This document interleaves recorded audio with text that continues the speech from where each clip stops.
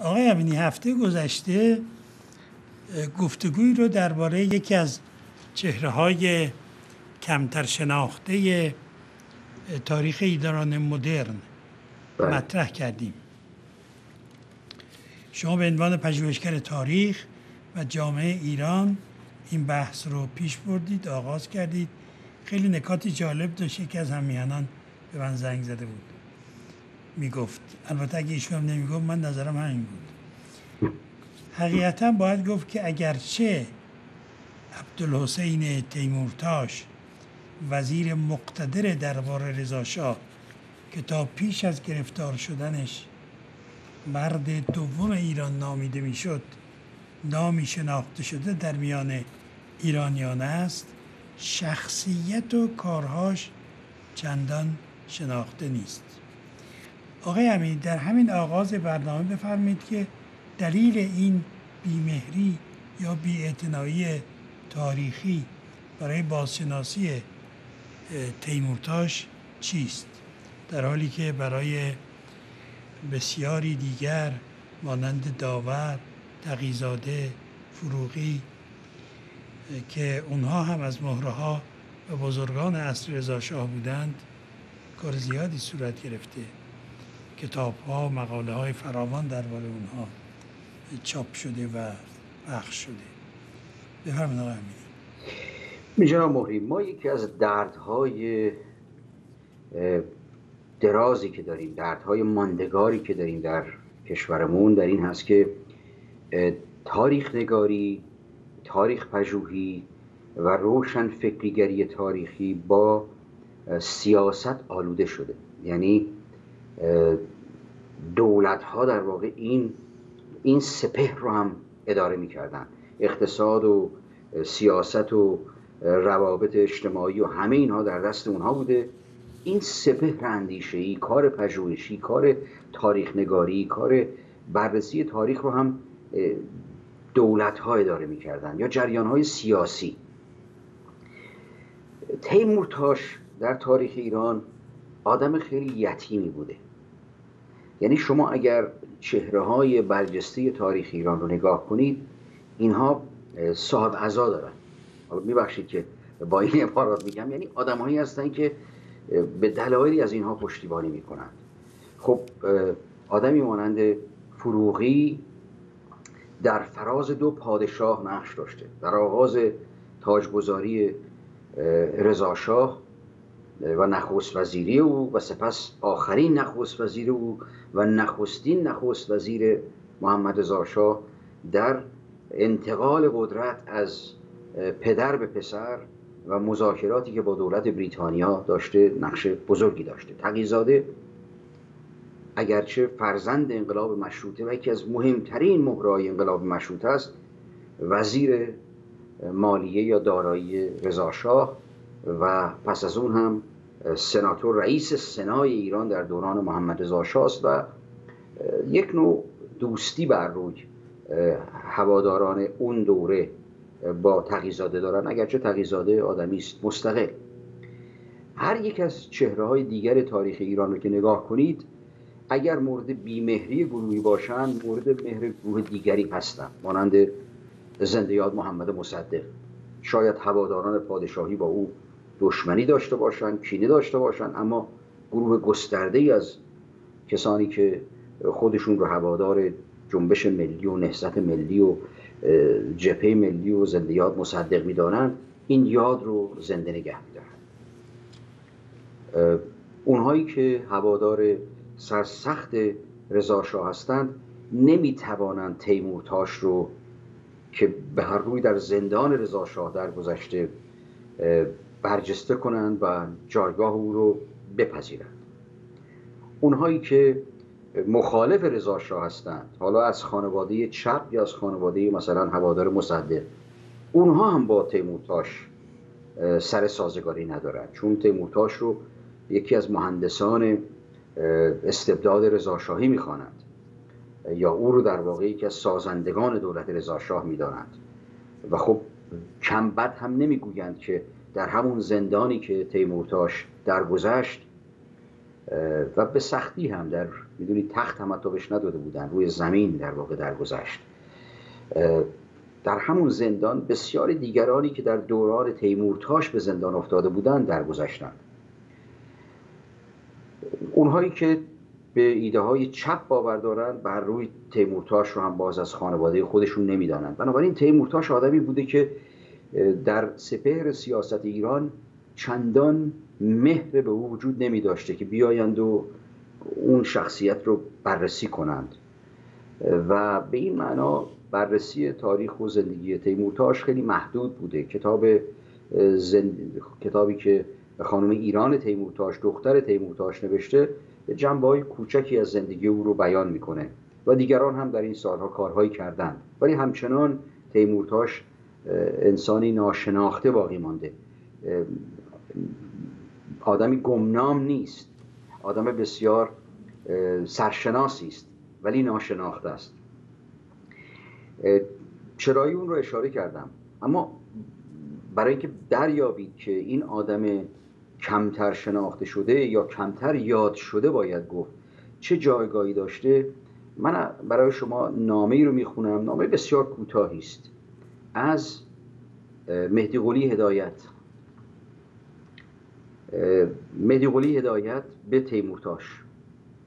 این نامه در 23 خرداد 1308 نوشته شده. نزدیک به دو سال از آغاز نخست وزیری مهدی قلی هدایت میگذرد. مخبر السلطنه. می‌دونید که مهدی قلی هدایت مخبر السلطنه پیش از مرحوم هویدا بیشترین سالها رو در نخست وزیری در نخست وزیری ناگسسته در دوران پس از مشروطه داشته. شش سال و نیم نخست وزیر رضاشاه بوده. و هیچگاه هم سخنی به زبان نیاورده که رضاشاه رو به او بدگمان بکنه. و گویا می‌گوید خود او می‌گوید که من خبر برکناری خودم رو در جرایت خواندم. البته دقیق نیست این نکته چون در همون دیداری که آخرین دیداری که رضا شاه با هیئت وزیران داشته به او گفته که شما از فردا دیگه کاری نخواهید بود. این نخست وزیر کشور ایران است. بلند پایه ترین جایگاه در قانون اساسی ایران. یعنی در قانون اساسی ایران هیچ کسی بلند تر از نخست وزیر برگزیده مجلس که فرمان نخست وزیر او رو شاه, او رو شاه صادر کرده نیست. کسی هم هست به نام وزیر دربار که وزیر دربار برخلاف دیگر وزیران از سوی نخست وزیر برگزیده نمی شود.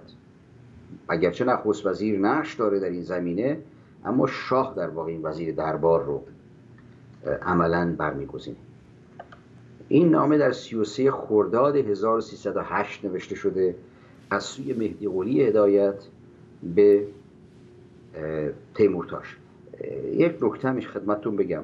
تا پیش از آغاز پادشاهی رضاشاه عنوان یا می‌دونید که القاب در ایران ممنوع شده بود مانند سلطنه ها و دوله ها و غیره. اما یه رشته صفت ها رو به کار میبردن. مانند حضرت اشرف یا عبارات بسیار معدبانه رو. این حضرت اشرف به طور مطلق اگر شما به یادداشتهای کسانی که منشی یا کاری برای رضا شاه بودن مانند سلیمان بهبودی نگاه کنید حضرت اشرف درباره رضا شاه استفاده می شده حتی پس از اینکه ایشان پادشاه شدن هنوز برای مدتی به ایشان حضرت اشرف. نه ببخشید پیش از پادشاه شدن به ایشان حضرت اشرف می‌گفتن. تیمورتاش حضرت اشرف رو بعد از پادشاهی رضا شاه از آن خود می‌کنه. یعنی به تیمورتاش می‌گفتن حضرت اشرف. این نام است. وزیر دربار عزیزم لازم شده است که بنده یک ساعتی خدمت حضرت اشرف تصدیق بدهم. ببینید نخست وزیر مملکت به وزیر دربار که بنا زیر دست او باشد از اون خواهش می‌کنه یه ساعت به من وقت بدید من بیام دیدار کنم خدمتتون و چیزهایی رو بگم. موجب زحمت. بله؟ موجب زحمت بشم. زحمت تصدیق بدم. در دربار حضرتت را آسوده نمی‌گذارند وانگهی اوقات کار است. متمنی است روز شنبه وقتی را معین فرمایید که یا بنده در دولت منزل شرف یاب بشوم. ببینید نخوست وزیر مملکت به وزیر دربار می‌گوید شرفیاب بشوم. بنده در دولت منزل شرف یاب بشوم. یا حضرت اشرف در کلبه حقیر سرفراز فرمایید عرایز خودم را به عرض برسانم. ببینید رئیس بهداری سمنان نیست که داره نامه میویسه به وزیر دربار. مدیر پست آباده نیست که داره تقاضا می‌کنه. اجازه بدید بنده تصدیق و مزاحم بشم خدمتتون. حالا خونتون هم نیاد شما به کلبه حقیر بنده اینجا رو به صلاح شرفیاب کنید. این نخست وزیر مملکته. اداره امور مملکت در دست اوست. تیمورتاش از چنان جایگاهی برخوردار است که آقای مهدی قلی هدایت دریافته. که اگر با این زبان با او سخن نگوید شاید وزیر نباشد. اگر شما همین نامه رو با خاطرات مهدی قلی هدایت خاطرات و خطرات مقایسه کنید می‌بینید که درویی در اینجا به چشم می‌خوره. درویی که در بیشتر این یادنامه نویسی ها در میان بزرگان تاریخ ایران وجود دارد. آن چیزی که در هنگامی که رئیس اونها صاحب دولت یا بزرگ اونها بر سر کار است می‌گویند و انجام می‌دهند آن چیزی که بعدها میویسند مهدی قولی هدایت خاطرات و خطرات رو پس از دوران رضا شاه نوشته. ولی در دوران رضا شاه و خیلی هم بد گفته در مورد تیمورتاش. ولی در دوران رضا شاه از تیمورتاش به گونه سخن می‌گوید که شما یا بنده در دولت منزل شرف یاب بشوم یا حضرت اشرف در کلبه حقیر سرفراز فرمایید تا عرایز خود را به عرض برسانم. این قدرتی بوده که تیمورتاش داشته. و بنابراین در پاسخ به این پرسش آغازین شما تیمورتاش بزرگترین برجسته ترین مهندس پادشاهی رضاشاه است. اصلا کار داور و نصرت دوله فیروز به به گرد پای تیمورتاش هم نمی‌رسه. جایگاه بلندی داشتن هر کدوم از اونها. کارهای داور شاید ماندگارتر بوده در ساختن دادگستری. پیامدهای ماندگارتری برای تاریخ ایران داشته. کارهای نصرت دوله اونقدرها کارهای ماندگاری نبوده. اما در دورانی که اینها زندگی می‌کردند یعنی در دوران نصرت دوله داور تیمورتاش و دیگران هیچ کس در ساختن در مهندسی این کاخ پادشاهی کاخ سیاسی پادشاهی رضاشاه به گرد پای تیمورتاش هم نمی‌رسه. آقای امینی هفته پیش اشاره کردید که به نقش تیمورتاش که در مهندسی سیاست خارجی ایران در نیمه نخست پادشاهی رضاشاه که یکی از پیامدهای اون بهبود روابط و نزدیک شدن ایران و شوروی بود و درگیر شدن با بریتانیا پیامد این سرنوشت این, این, این چه بود؟ برید رضا برخی هم معتقدن که به گومگوهای تیمورتاش با پشتیبانی رضا یا شرکت نفت ایران و انگلیس و دولت بریتانیا بازی سیاسی برای تجدید قرارداد دارسی بوده. آیا... این بخش دوم واقعا افسانه است. این تصور که گمان کنیم که شش سال تمام هفت سال تمام از 1305 6 تا 1312 دولت رضاشاه وارد یک بازی سیاسی شده که با دولت بریتانیا این بازی رو انجام بده که سرانجام پیمان دارسی تجدید بشود یا بریتانیا این بازی رو آغاز کرده افسانه از از جمله از این منظر رفته رفته از آغاز پادشاهی رضا شاه هرچه میگذرد؟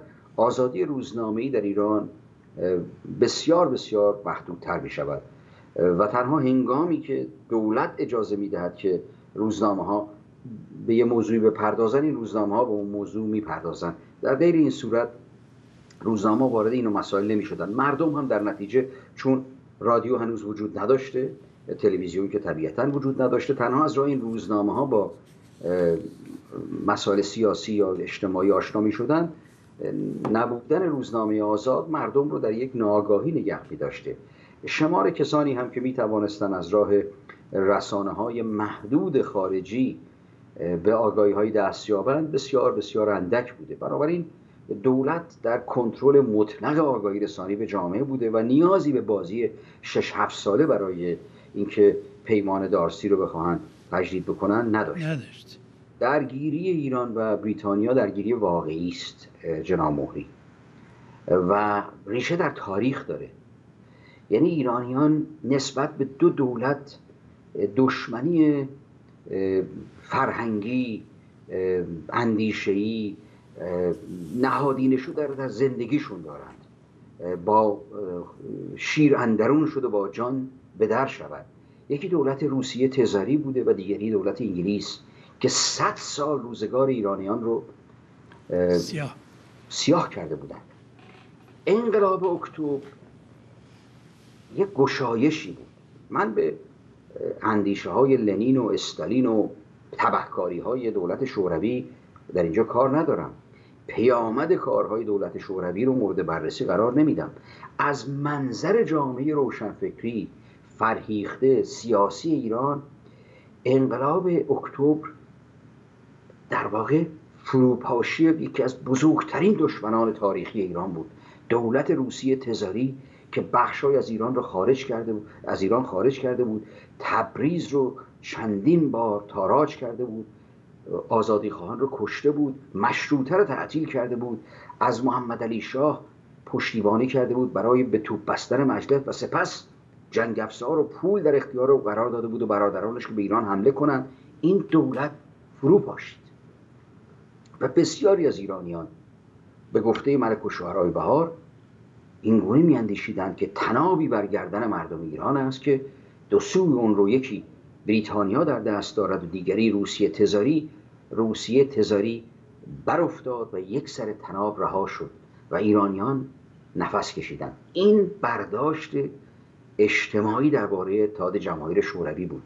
بعدها دریافتیم که این اتحاد جماهیر شوروی خود مانند دولت روسیه تزاری و بدتر از دولت روسیه تزاری چشمندازهای یعنی چشم انتظارهای استعماری نسبت به ایران دارن. اون رو به کنار بگذاریم. ما در آغاز دولت جوان شوروی سخن می‌گوییم. پنج شش سال هفت سال هشت سال از آغاز دولت شوروی بیشتر نمیگذرد و تنها کاری که در اون دوران انجام دادن و خیلی زود هم عقب نشستن کوشش در ایجاد جمهوری سوسیالیستی گیلان است که دولت شوروی هم این رو به حساب تندروها گذاشت و گفت ما اینها رو هم کنار نهادیم. و خیلی زود هم با ایران کنار آمد و پیمان 1921 رو با ایران بست. تیمورتاش یکی از نخستین مسئولیت هایی که به عنوان وزیر دربار داشت آغاز گفتگو با دولت شوروی برای یک رشته مسائل مالی و مسائل سرحدی بود. و دولت شوروی روی خوش نشان داد. و خب تیمورتاش زبان روسی خوب می‌دانست. اصلا پرورش یافته آموزشی در روسیه بود. همونجور که اشاره کردید از یازده سالگی به روسیه رفته بود. سالها در اونجا زندگی می‌کرد و زبان روسی رو مانند روس ها می‌دانست و در نتیجه روی خوش به او نشان دادن در دیگر زمینه ها هم تیمورتاش و به پشت با پشتیبانی آشکار رضاشاه همه کاری سیاست خارجی ایران شد و از 1306 با دولت بریتانیا در افتاد. و این درگیری با دولت بریتانیا تا اونجا ادامه پیدا کرد که برای مذاکره با دولت با شرکت نفت ایران و انگلیس تیمورتاش دو ماه در لندن سرگردان بود. یعنی با او بازی می‌کردن. تا اینکه رضا بسیار خشمگین شد و از او خواست که فورا بازگردد. نشان می‌داد که دولت بریتانیا نمی‌خواهد با ایران کنار بیاید. چند مشکل اساسی میان ایران و بریتانیا وجود داشت. نخستین اونها پیش از آغاز پادشاهی رضاشاه حل شده بود. خیلی هم با زرنگی حل شده بود و موضوع خوزستان بود و خزر.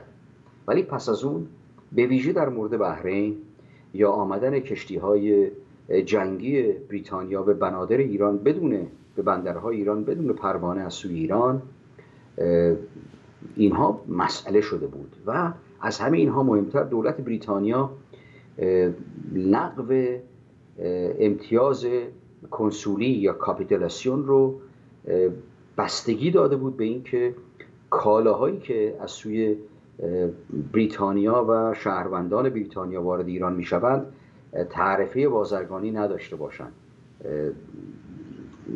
گفتگوهایی که ایران با شوروی هم انجام می‌داد در همین راستا بود و ایران زیر بار نمی‌رفت. و بسیاری چیزهای دیگر از جمله پولهایی که دولت بریتانیا ادعا می‌کرد. خیلی جالب از دولت بریتانیا در زمان جنگ جهانی اول بخشای از خاک ایران رو گرفته بود و با رفتار سیاستی که در زمینه محاصره کشیرانی ایران داشت بخش زیادی از مردم ایران به دلیل بیماری و نبود مواد غذایی پرپر شده بودند. بسیاری زیاد. با این همه از ایران ادعای خسارت پیش از جنگ و دوران جنگ و پس از جنگ می‌کرد. و همه اینها رو تیمورتاش باش در افتاد. یعنی تیمورتاش تمام اسناد نشان می‌دهد. گزارش های زیادی که امروز در دست ماست از اسناد وزارت امور خارجه بریتانیا اسناد وزارت امور خارجه ایالات متحده آمریکا و حتی فرانسه و بخشهایی از اسناد وزارت امور خارجه اون موقع شوروی که خیلی کم در دسترس ماست اینا نشان می‌دهد که با تیمورتاش یک دشمنی آشکار داشتند. یعنی درگیری با تیمورتاش درگیری جدی بود و تیمورتاش به طور مطلق سیاست خارجی ایران رو اداره می‌کرد. و بعدها هم یکی از زمینه های درگیری یا دشمنی فروغی با تیمورتاش همین شد که فروغی وزیر امور خارجه بود. ولی مثلا در امور بحرین تیمورتاش هیچ گونه مذاکره با فروغی انجام نمی‌داد. خودسرانه این کار رو پیش می برد و خب یا در مورد مسئله نفت تقیزاده وزیر مالیه بود. ولی تیمورتاش به او بهایی نمی‌داد با او گفتگو نمی کرد موضوع نفت رو خودسرانه انجام می‌داد. تیمورتاش در واقع کشور رو اداره می کرد و شاه رضا شاه در واقع پادشاه کشور بود.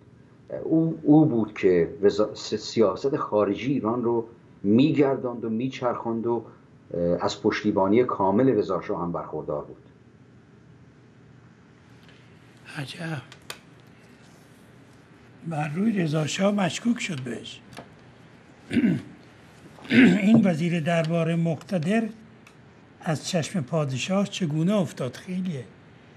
اول خانه نشین شد بعد به محاکمه کشیده شد. آقای امینی ماجرای محاکمه تیموتاش چجوری بوده؟ چگونه بوده؟ آیا براش پاپوش ساخته بودن؟ یا او به راستی رشوه گرفته بوده؟ یا انگلیس ها کیف او رو که در ترن از روسیه که برمیگشته گم شده بوده پیدا کردن و به نظر رضاشاه رسوندن. چی بوده موضوع؟ ببینید شما اگر نگاه کنید به همه دولت های خودکامه در تاریخ به گفته در فرهنگ ما هم هست که دو آشپز در یک آشپزخانه نگنجند. یعنی شما نمی‌توانید یک رهبر خودکامه مقتدری داشته باشید مانند رضاشاه. وزیر درباری هم که همسنگ او کار می‌کنن در این حال این وزیر دربار داناتر جوانتر خوشخیافهتر آموزش دیده تر آموزش دیده تر از پادشاهی است که او بناست کارهایی رو انجام بدهد. خب طبیعی است که این پادشاهی که سن بالاتری هم داره ولی عهد او هم بسیار خردساله در این سالها. نگران است از این جایگاهی که تیمورتاش داره به دست میاره. فراموش هم نکنیم این با فرهنگ و تاریخ ایران هم میخانه شما هر بار که نگاه می‌کنید در درازای تاریخ ایران و به وزیر کشی و نخبه کشی مینگرید این نیست که پادشاهی آمده و خودسرانه وزیری رو کشته دیگران آمدند. یاری رساندند که این پادشاه یا سلطان رو قانع کنند که این وزیر باید از میان برود. یعنی عامل سعایت. کاملا. و رقابت. برای اینکه تا هنگامی که این وزیر هست دیگران نمی‌توانند به این جایگاه برسند. حتی در مورد امیر کبیر بروید به روزگار گذشته نگاه کنید. خیلی دورترها حتی سپه سالار و خیلی هایی که در دوران گذشته به تاریخ بیهقی بنگرید که استاد او رو در واقع یا خیلی های دیگری که از میان رفتن همه اینها وقتی نگاه می‌کنید دیگران در این کار جایگاه و نقش دارند و شاید خود اونها به جای اون به وزیری رسیدند و خود اونها هم سرشون رو سر خودشون رو از دست دادن. در مورد تیمورتاش اندکی اگر از بیرون اگر تیمورتاش می‌توانست پرواز از بدن خودش بکنه و از بیرون به وضعیت خودش نگاه بکنه خیلی زود در میافت که این موقعیتی که او به وجود آورده قدرتی که فراهم کرده بر افتادنی است راهی برای اون نیست که جز این نیست که او از میان برود. برای اینکه کسی که به چنین جایگاهی رسیده باید شک و تردید مردی رو که به گفته خود تیمورتاش هفته پیش برای شما خواندم پس از گرفتار شدن نصرت دوله گفته بود که به هیچ کس رضاشاه اعتماد نداره. حالا یک آدمی آمده با دانش و توانایی های بسیار زیاد انرژی بیشتر و جوانتر آمده و نه در تنها سپهر خارجی در سپهر داخلی هم یک کتاز شده. این است که خیلی ها در واقع با او در افتادن. اما مهمترین مسئله ای که در اینجا به وجود آمد درگیری با بریتانیا بود. یعنی رضا شاه که با سیاست خارجی چندان آشنا نبود سخت شیدای توسعه و پیشرفت ایران در همون زمینه هایی بود که بون علاقه داشت و موضوع بحرین به وجود آمد. که امیدوارم در یه برنامه جداگانه به این بپردازیم. و اسناد زیادی وجود داره از نامنگاری ها و کارهایی که در دوران تیمورتاش در مورد بحرین شده و درگیری هایی که در مورد بحرین با ایران به وجود آمده.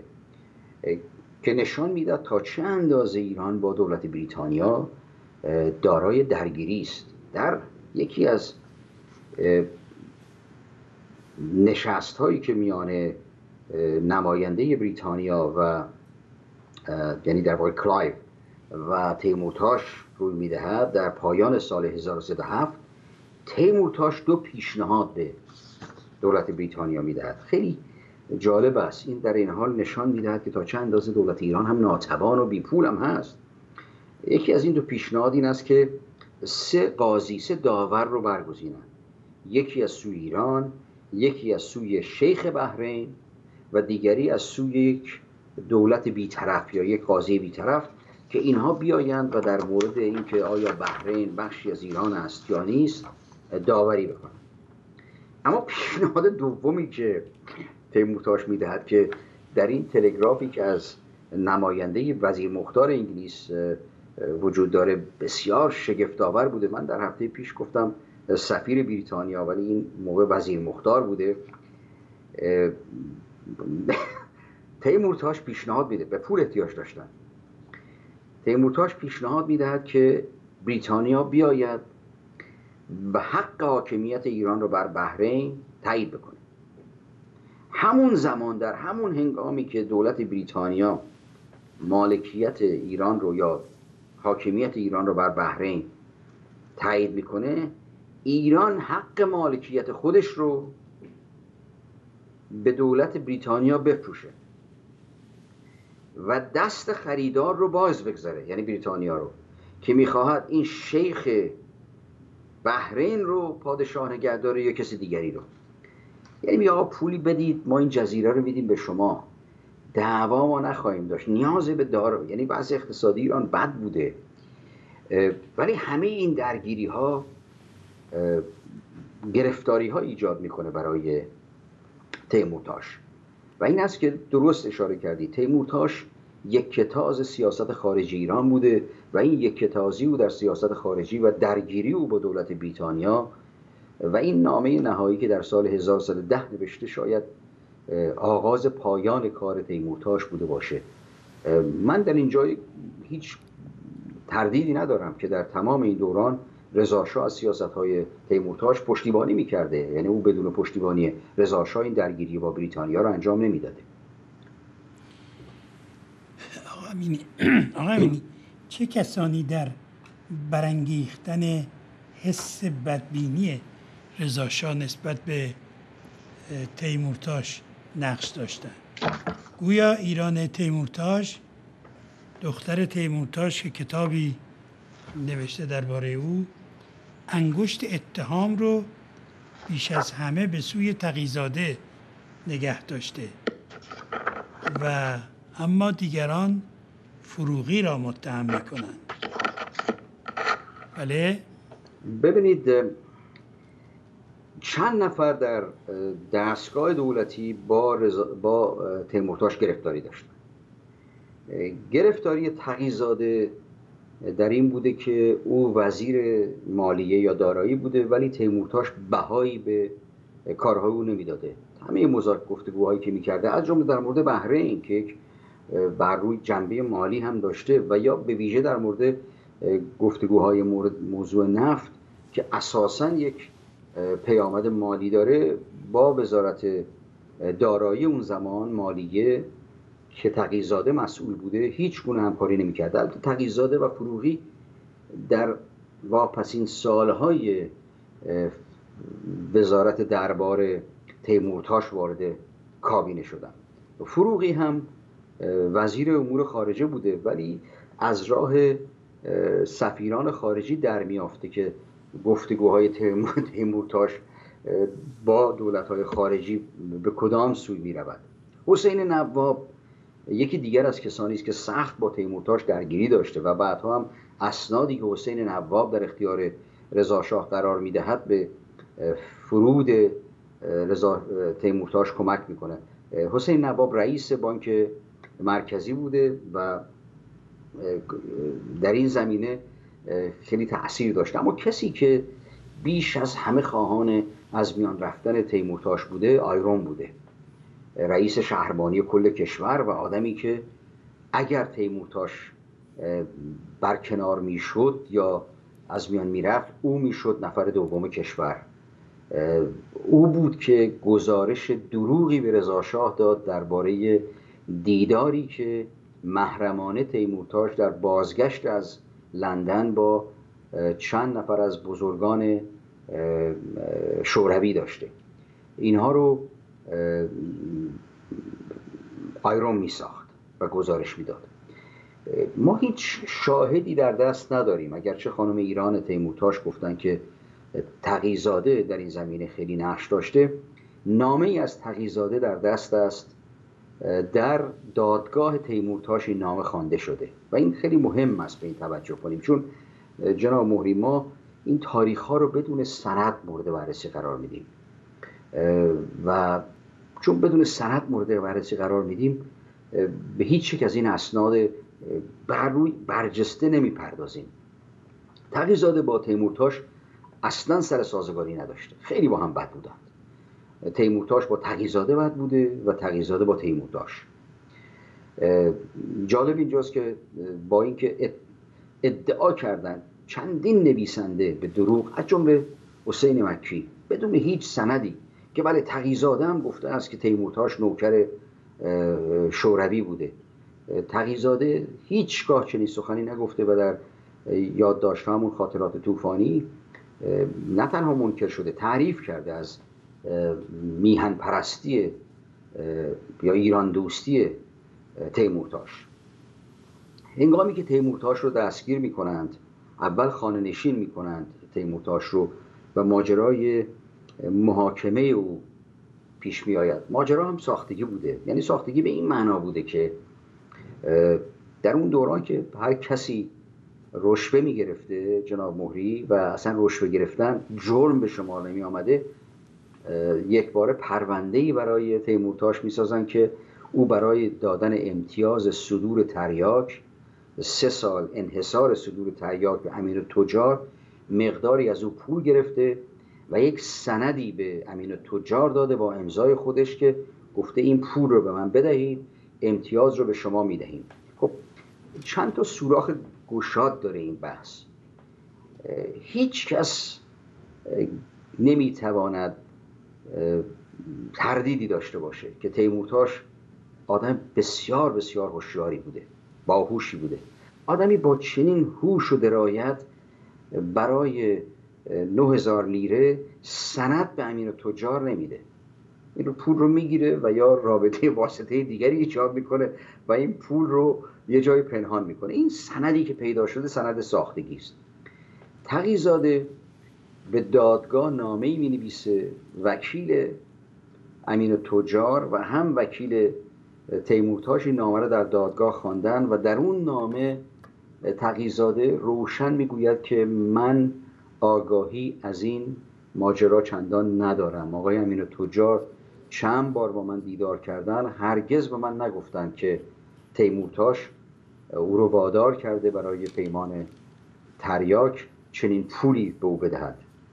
البته امین تجار از ترس جان در دادگاه شهادت می‌دهد که بله تیمورتاش من رو وادار کرد و من حتی نمی‌خواستم این تریاک رو از ایران صادر کنم ولی از من خواست و این پول رو از من گرفت.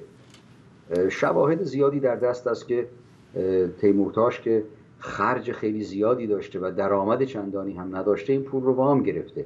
ولی بر روی فساد در میان بزرگان دولتی ایران در اون هنگام اصلا موضوعی نبوده که بخواهند او رو به جرم گرفتن مثلا ده هزار لیره محاکمه کنند. اگر می‌خواستن محاکمه کنند این همه زمین هایی رو که رضا گرفته بوده دیگران در واقع دست داشتن رو باید اونها هم محاکمه می‌کردن.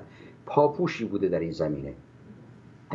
سندی در مورد دخالت تقیزاده هم در این زمینه در دست نداریم. هر دوی اینها تقیزاده و ببخشید منظورم فروغی بود. هر دو اینها تقیزاده فروغی و حسین نواب سخت با تیمورتاش دشمنی داشتند به دلیل اینکه تیمورتاش در کارهای اونا دخالت می‌کرد و در واقع اونها رو مقابل رضاشاه کوچک می‌کرد.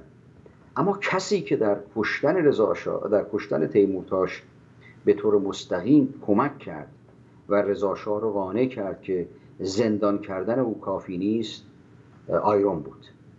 و آیروم آدمی است که جان سالم هم که تنها کسانی است که جان سالم هم به دست یعنی جان سالم در واقع به در برد و از ایران گری نگریخ اجازه گرفت و از ایران به بهانه شکست, شکست شدن دماغش و از این دست از ایران گریخ و با آلمان رفت و طرفدار آلمان هیتلری شد و ماجرایی است که بر روی وارد اون نمی‌خوام بشم.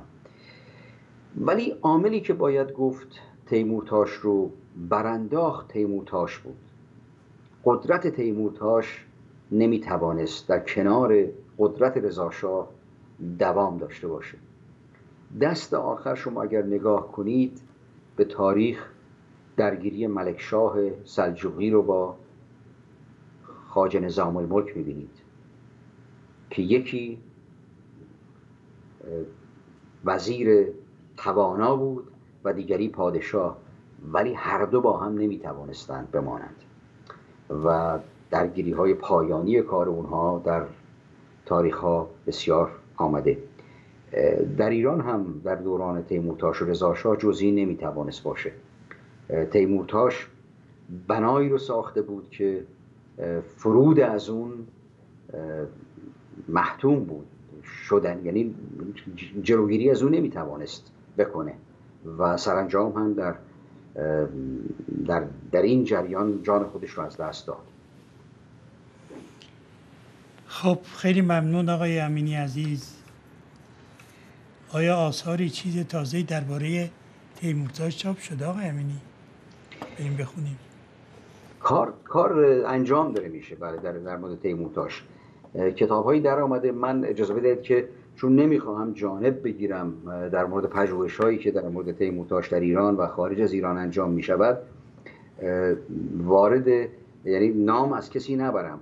تنها نکته رو که می‌توانم بگویم این است که سالهای درازی است که یکی از نوادگان نوه تیمورتاش در کانادا دستن در کار انتشار کاری در این زمینه بوده. شما هم ایشان رو می‌شناسید. ولی این کار رو من هنوز چاپ شده این کار رو ندیدم. ایشان هم امروز نماینده پارلمان کانادا هستن. بله. موریدی آقای احساسی. احساسی. بله. ولی ایشون نوه آقای تیمورتاش هستن نوه تیمورتاش هستن نوه دختری تیمورتاش. و کارهایی انجام دادن ولی من این کار رو ندیدم. ما چقدر دیگه وقت داریم؟ من چند نکته دیگه می‌تونم بگم یا به پایان رسیدیم؟ بفرمایید. نه بله. بفرمایید. دو سه دقیقه وقت. بله. در مورد مسئله ماجرای کشته شدن تیمورتاش یک یا گرفتار شدن تیمورتاش یکی از افسانه هایی که خیلی پذیرفته شده است در این است که او عامل روس ها بوده شوروی بوده. دو نفر یه نفر یکی از اونها بالا بلند پایه ترین مقام امنیتی یا جاسوسی رئیس جاسوسی دولت شوروی در ایران بوده و دیگری کارمند دستگاه امنیتی شوروی سالها پس از اون نوشتن که ما آگاهی داریم که تیمورتاش عامل دولت شوروی بوده و با ما همکاری می‌کرده. در این دو خاطره در, در این دو گزارش آنچنان سوراخ هست که ببخشید پنیر سوئیس به نظر بی سوراخ میاد اینقدر سوراخ دار و دروغ های زیادی رو در این زمینه روان ساختند. چگونه ممکن است آدمی که درگیری های این چنینی داشته با دولت بریتانیا اینها را تنها از منظر منافع دولت شوروی دنبال کرده باشه؟ این افسانه گم شدن کیف تیمورتاش و یافته شدن اون در اروپا که این رو به ویژه آقای مکی هم به اون خیلی دامن زده و متاسفانه در میان ما ایرانیان هنگامی که آدمی با نام مکی که خب آدم به هر حال مهمی بوده در تاریخ چیزی رو می تاریخ 20 ساله ایران رو نوشته فورا اون رو میپذیریم. در حالی که به داوری من یکی از بیپایه ترین یکی از بی ارزش ترین پژوهش های تاریخی تاریخ 20 ساله ایران مکی است که هیچ چیز تازه‌ای در این کتاب نمی‌توان یافت. یک چیزهایی رو کنار هم رشته و در واقع ساخته و نهاده ولی سندی در این زمینه حتی در مورد مصدق هم. حتی در مورد مصدق و حتی در مورد بسیار از یاران مصدق و از جمله در مورد خودش. یه دفعه شما به من گفتی این کتاب نخون. نه این کتاب ببینید این کتاب دارای ارزش هست. برای اینکه این کتاب در نزدیک به 60 درصد این کتاب بازگویی از کتاب های دیگرانه که اون خواندنی است. چون این کتاب ها رو اگر شما در دست نداشته باشید از کتاب تاریخ 20 سال ایران می توانید به این کتاب به اون کتاب ها دست بیابید. ولی اونهایی که خود مکی به قرار مسموع از آنجایی که شنیده شده است اسنادی در دست است چیزهایی از این دست رو بازگو کرده خب نشانی از بیاعتباری در واقع کار پژوهشی است. و او دامن زده به این موضوع که تیمورتاش عامل بریتانیا بوده عامل شوروی بوده. آدم دیگری که به دامن زدن به این اندیشه وابستگی و جاسوسی تیمورتاش در اون دوران دامن زده فردوست هست که در این دوران پس از برگشتن از اون دوران و طرفدار جمهوری اسلامی شدن ژنرال فردوست معروف تیمسار فردوست به این موضوع خیلی دامن زده که بله آگاهی های دست اولی دارم که نشان می‌دهد که باز هم بر پایه همین دو سند دو معمور شوروی که اسنادی است که امروز بیپایگی اونها روشن شده بله تیمورتاش عامل شوروی ها بوده. به داوری من تیمورتاش قربانی درگیری با سیاست بریتانیا شد. از یک سوی و قربانی خودپرستی و قدرت جوی خودش. مانند مخبر سلطنه هدایت نبود که دریابه تا کجا باید پیش رفت و تا کجا باید وارد سیاست در پناه یک پادشاه خودکامی قدرتمند تنها شد. این است که جایگاهی برای خودش ساخت. کاخی در کنار کاخ رضاشاه ساخت که این کاخ سایه افکنده بود بر کاخ رضاشاه سرنوشت او مانند سرنوشتان اسخف معروفی است که در دوران هنری هشتم به اون جایگاه بلند رسید و همه کاره هنری هشتم شده بود و سرانجام هنری هشتم دستور داد که سر او رو ببرند. و البته برخی از اون بخشی از اون داستان هم در حاله از افسانه پنهان است. ولی بر روی واقعیت این است که ما می‌دانیم که در یک ساختار خودکامه جز یک خودکامه بیشتر نمی‌تواند بماند. به داوری من تیمورتاش انسان بسیار توانایی در تاریخ ایران بود و خدمات ارزشمندی به کشور ایران کرد. اما در سازندگی و مهندسی این بنای خودکامگی در ایران جایگاه برجسته ای داشت و در این حال جان خودش رو هم در همین زمینه در راه اینکه آمد و یک نوع دستگاه رقابتی با ناخواسته با رضا شاه به وجود آورد و دشمنی بریتانیا رو هم به جان خرید و زمینه ای رو برای اینکه اونها به جان او بیفتن فراهم کرد جان خودش رو در این راستا از دست داد. مرگ بسیار غم هم داشت. هنگامی که بیمار شده بود در زندان حتی تختی برای او فراهم نکرده بودند. و معروف است که روی زمین سخت سنگی جان داده بود در زندان. خب آقای امینی عزیز بسیار ممنونم. هفته آینده اگر موافق باشیم مسئله بحرین. مسئله بحرین بسیار بسیار جالبه چون یکی از گفتگوهای اون دوران بوده و بعد نیست پردازیم به اینکه اصلا بحرین واقعا بخشی از ایران بوده نبوده و یا ادعایی است که بر روی ما ایرانیان داشتیم و یا واقعی بوده. بسیار. خیلی ممنون آقای امینی. خسته نباشید. همیانان گرامی از شما ممنون. آقای امیر دست درد نکن